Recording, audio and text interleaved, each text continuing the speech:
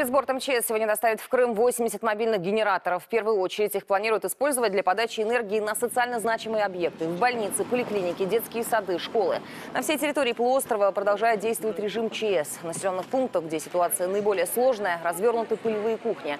В Мисвет сейчас более миллиона человек. Сегодня на полуостров прибудет министр энергетики Александр Новак, чтобы оценить ситуацию на месте обесточивание полностью Крыма и та работа, та подрывная деятельность, которая была проведена, э, подрыв опор, э, разрушение э, линий электропередач, направлена была на, по сути дела, создание условий, не обеспечивающих жизнедеятельность людей, проживающих в Крыму. В Крыму. И это на самом деле является преступлением, серьезным преступлением. И удивляет то, что до сих пор украинские власти не обеспечили до- доступ э, украинским же энергетикам для того, чтобы э, восстановить соответствующие линии электропередач.